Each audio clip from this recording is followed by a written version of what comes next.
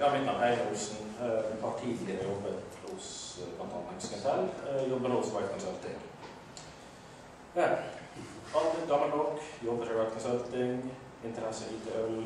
Svakheter mange. Kan ikke lage slides. Det vil ikke se mange bilder på disse. her. Ikke fin design, ingenting. Displayene har vært ansatt i noen år. Temaet er DNS-sekk. Hva er DNS-sekk?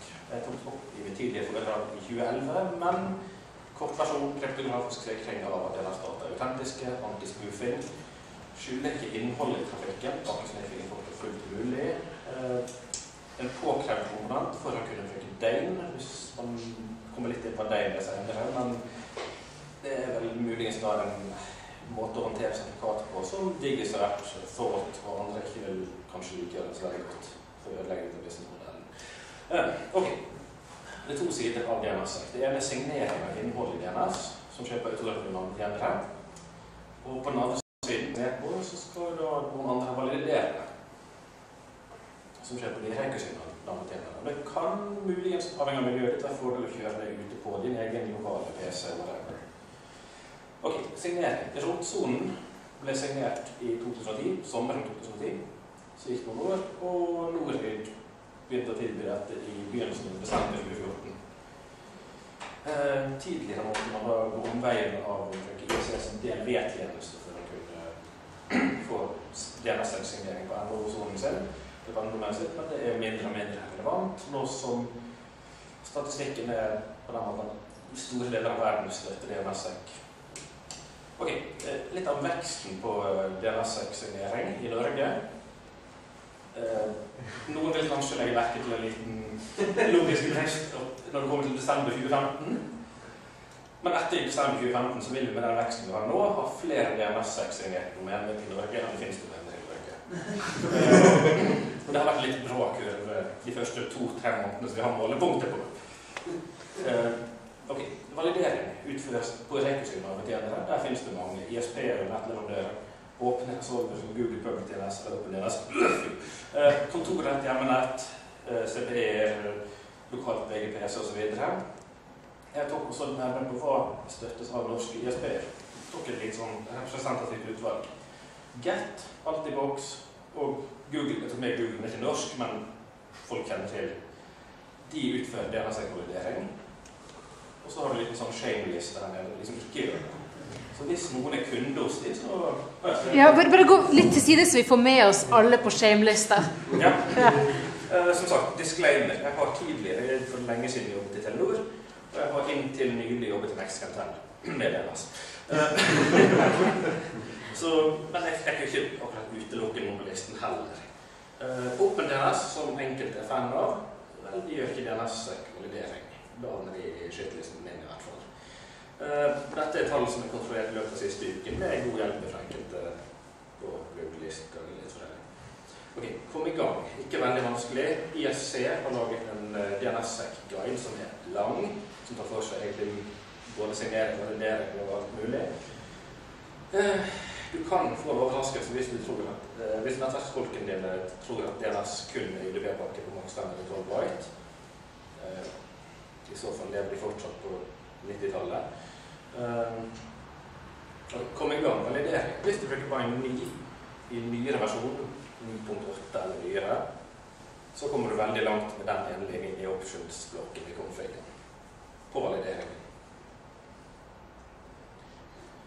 Uh, signering, da må du gjøre litt flere grep. Uh, jeg vet ikke hvor mye folk har sett på det, men det typiske er å lage en nøkkel, en key signing key, som du bruker til å signere en annen nøkkel, en zone signing key.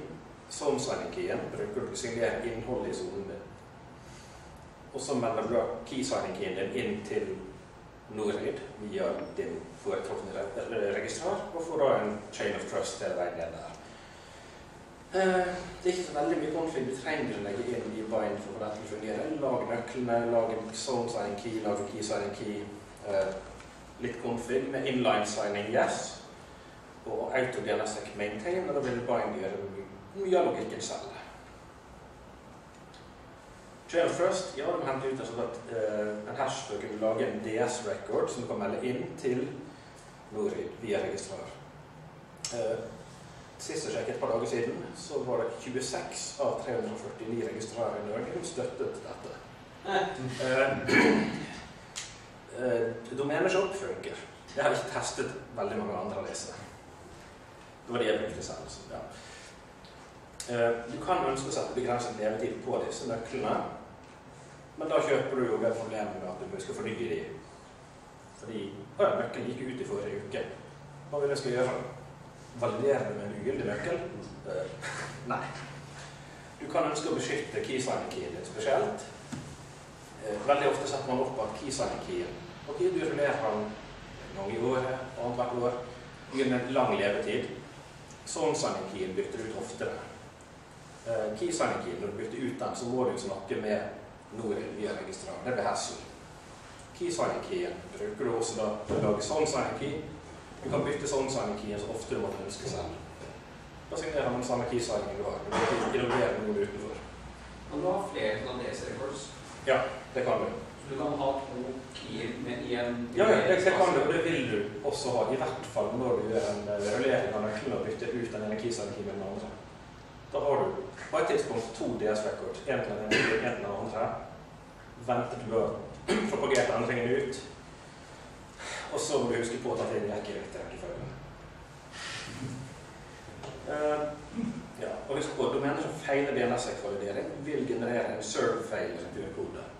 Tilsynelatende så ja, De fins ikke, hvis du går i nettlesing det. Uh, avhengig av hvilket miljø du er i.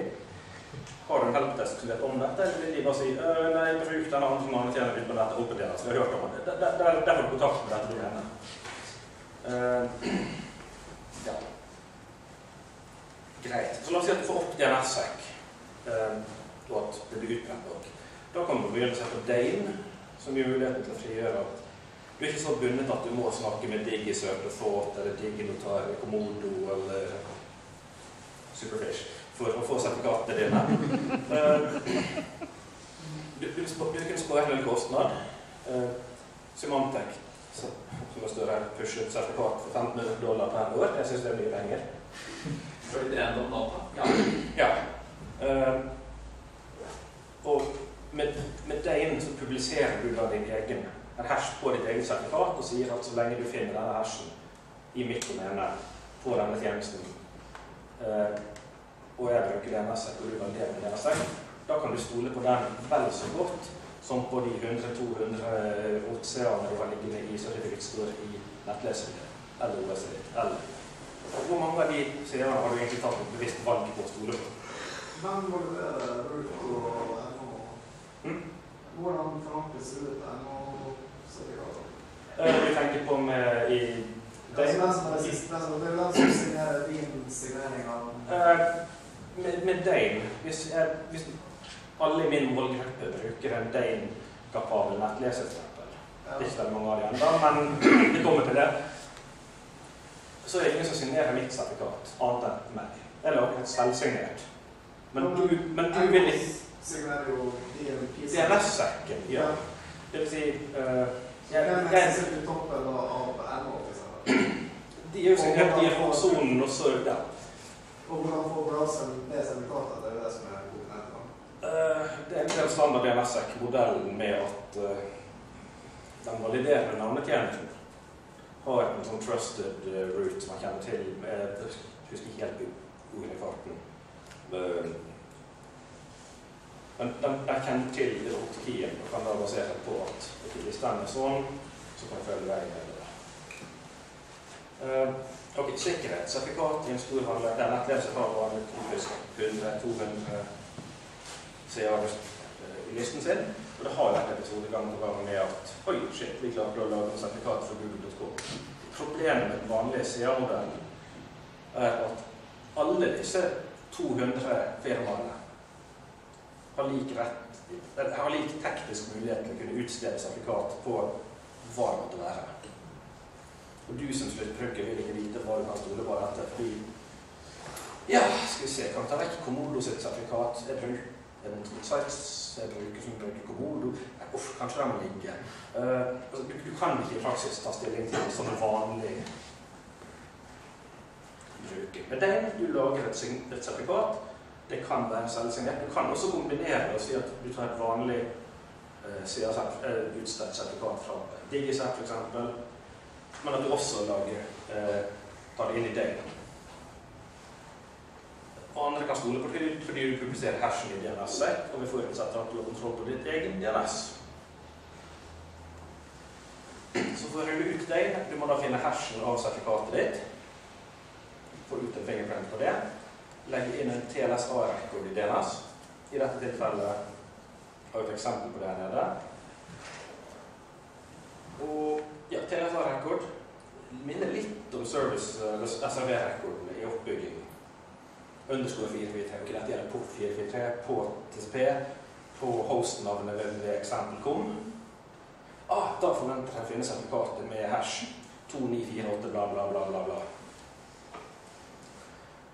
Eh, De feltene er litt sånn etter TLSA 301 i dette tilfellet. Det første feltet, du har fire verdier. Det sier egentlig om eh, det er dette sertifikat som skal sjekkes opp. Også mot vanlige regimet, at det ligger under rotstøvel, bla, bla, bla. Eller skal dette kunne være helt frittstående? Uh, ja, andre felt om det fullsertifikat, tredje felt hvilken hash. Finnes en nettside for å generere dette, du egentlig bare taster inn public-sertifikatet ditt og velger at vi skal ha en sånn klikk, klikk, klikk, og du får ut en ferdig tillatelse av rekord. Ok, den er jo helt konge. Ulempe med den, ikke mange som bruker den da. Postfix har en ny versjon som støtter for den. De mest vanlige nettlesere får du plug-in til. Chrome hadde det vel inne i eh, hoved i kår, for å si det sånn, en gang i tiden, men det ble fjernet. Uvisst hvorfor. Kanskje ikke følte for å pushe den da. Og for å kunne stole på deg, det er neste kvalidering. Ikke ut fra den, men det kom. Tilbake igjen til listen med norsk ISP, hvor de store en del av historien ikke har begynt å validere. Så hvis noen kjeder seg en dag og har lyst til å ringe til Nextcartel eller Telenor eller og spørre, så får dere vite det. Så må gjerne gjøre det. ja. Eh, Det er mulig å gjøre feil, men det gjelder vel det meste som involverer sertifikat. Eh, Som sagt, det er mulig å gjøre feil. Og da kan man få en fin liten vei. Det tok ikke mange timene egentlig fra jeg har klart å gjøre en feil, til jeg fikk en eh, mail fra Viktor Dukovny om eh, du har følgende feil og bla, bla, bla. bla. Lang avhandling, til RFC-ene. Du bør gjøre sånn istedenfor. Dette er kun sertifikat med Dane TA parentes 2 og Dane EE parentes 3 are supported. Da er det tilbake til de 3 igjen. Til altså, jeg hadde jo i min dumskap trodd at ok, men dette er egentlig et CA-sertifikat, men også har vi Ok, tar vi litt én stedet. for den mappen ser ut til å matche mer med. Ja. Uh, det var ikke en autogenerert mail heller, tydeligvis. Jeg sendte mail tilbake igjen og fikk svar på den mailen etter ti minutter. Så Ja. Uh, ok, det var kjapt. Ca. ti minutter over tiden. Ja. Spørsmål? De tar vi på Henrik. Uh, Ja. ja. Kanskje det. ja. Så